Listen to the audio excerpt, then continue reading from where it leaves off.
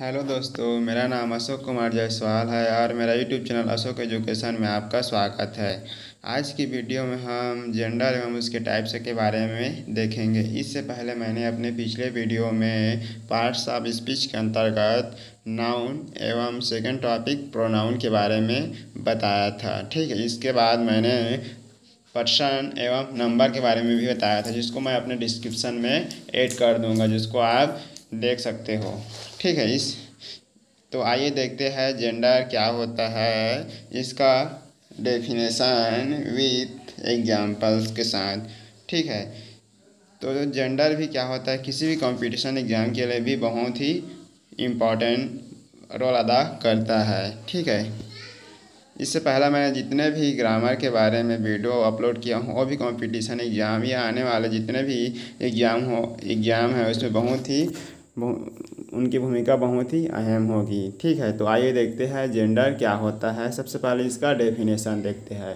ठीक है तो gender gender is a denoted by male and female ये किसको बताता है? या किसी मेल को बताता है या किसी फीमेल को बताता है? उसको हम जेंडर कह सकते हैं। जैसे फॉर एग्जांपल्स के लिए boy line girl bag chair E T ये आपका क्या होगा? जेंडर होगा। ठीक है इस प्रकार से इसका क्या होता है? डेफिनेशन होता है। इसके बाद इसका जो टाइप्स है, उसको देखते हैं।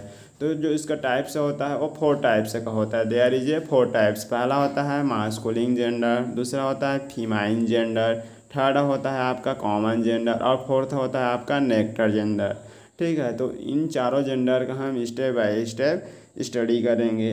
ठीक है?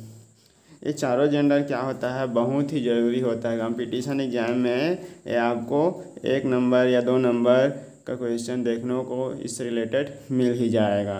ठीक है? तो सबसे फ़र्स्ट वाला जेंडर होता है आपका मास्कुलिन जेंडर तो इसका जो डेफिनेशन होता है, उसको देखते हैं। ये क्या होता है? All word of hard male or masculine जितने भी आपका क्या है मेल है, वो क्या होता होगा आपका? मास्कुलिन जेंडर कहलाएगा। ठीक है? केवल क्या है, जितने भी मेल है या जितने भी मेल को हम क्या कर सकते हैं मास्कुलिन जेंडर के अंतर्गत रख सकते हैं। जैसे फॉर एग्जांपल्स के लिए बॉय तो ये भी एक मेल है, लड़का है।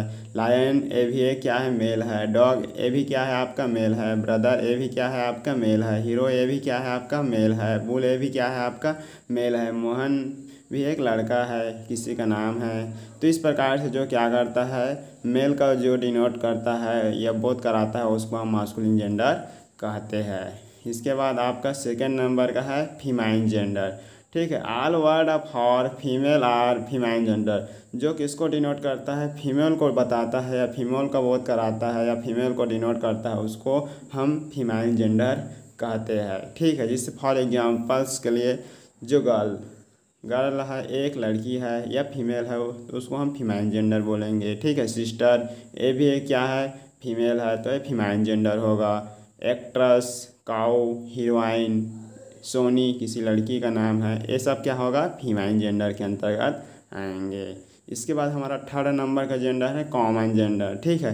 The word there denote a male or a female is called common gender. जो मेल और फीमेल दोनों को बताता है, उसको हम कॉमन जेंडर के अंतर्गत मतलब दोनों आएगा बहुत है ना? मेल और फीमेल, दोनों रहेगा तब उसको हम कॉमन जेंडर कहते हैं या कह सकते हैं। जैसे फॉर एग्जांपल्स के लिए स्टूडेंट तो स्टूडेंट क्या होता है? मेल और फीमेल दोनों होता है। डॉक्टर मेल और फीमेल दोनों होता है। पेरेंट मेल और फीमेल दोनों होता है। फ्रेंड्स मेल और फीमेल दोनों होता है। ड्राइवर मेल और फीमेल दोनों ही रहता है। राइटर भी मेल और फीमेल दोनों रहता है। इसीलिए जितने भी मैं यहाँ पर एग्जाम्पल्स बताया हूँ आपका कॉमन जेंडर के अंतर्गत आएगा, जो कि मेल और फीमेल दोनों को बता रहा है या डिनोट कर रहा है। ठीक है?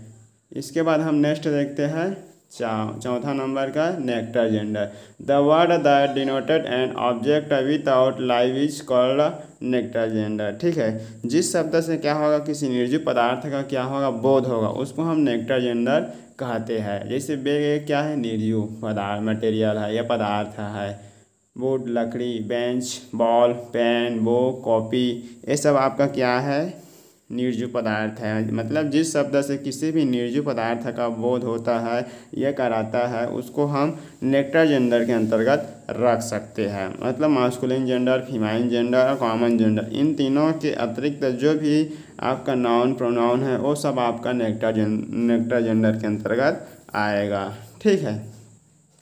इसके पश्चात देखते हैं जो मास्कुलिन जेंडर से फीमाइन जेंडर बनाने के कुछ रूल है। तो फ़र्स्ट है न्यू वर्ड्स का प्रयोग करके सेकेंड है। ई डबल एस को जोड़कर थर्ड है कंपाउंड वर्ड में मुख्य वर्ड जोड़कर। तो फ़र्स्ट हम देखते हैं न्यू वर्ड का प्रयोग करके। तो जैसे बॉय है तो बॉय ये आपका मास्कुलिन जेंडर इसको अगर बनाएँगे फीमाइन तो ये गर्ल्स गर्ल हो जाएगा। सन को ये डॉटर हो जाएगा मेन वुमेन हो जाएगा। ठीक है उसी प्रकार किंग आपका क्वीन हो जाएगा, सर आपका मैडम हो जाएगा, ब्रदर आपका सिस्टर हो जाएगा, फॉक्स आपका विक्सन हो जाएगा, हस्बैंड आपका वाइफ हो जाएगा। ठीक है, हर्ष आपका मेयर हो जाएगा।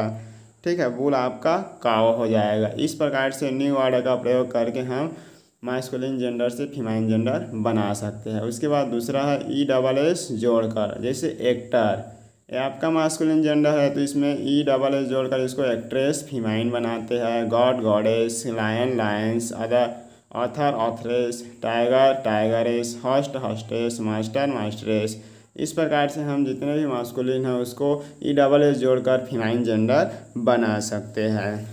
ठीक है तो इसमें बहुत सारे एग्ज़ाम्पल जैसे आपका हॉस्ट है तो हॉस्टेस हो जाएगा नेग्रो है तो नेग्रेस हो जाएगा। ठीक है मास्टर है तो आपका मिस्ट्रेस हो जाएगा। ठीक है? इस इस प्रकार से आप ई डबल एस जोड़कर मास्कुलिन जेंडर से फीमाइन जेंडर बना सकते हैं। इसके बाद हमारा थर्ड नंबर है मास्कुलिन जेंडर से फीमाइन जेंडर बनाने का नियम। तो कंपाउंड वर्ड में हम क्या है जो मेन वर्ड मेन वर्ड है या शब्द है, उसको हम बदल कर ठीक है? हम बना सकते हैं या जोड़ कर या बदल कर मास्कुलिन से फीमाइन बना सकते हैं। जैसे लैंड लॉर्ड तो इसको लैंड लेडी मैन सर्वेंट तो मैड सर्वेंट मिल का मैन मतलब milkwoman chairman chairwoman, ही ए पे मतलब सी ए। पे English man English women washerman Vaisar women. इस प्रकार से हम क्या कर सकते हैं, जो कंपाउंड वर्ड है, ठीक है। उसमें मुख्य शब्द को बदल कर या जोड़कर उसमें हम मास्कुलिन से फीमाइन जेंडर बना सकते हैं। ठीक है? जैसे ही बियर तो सी बियर हो जाएगा जैक एस जेनी एस हो जाएगा।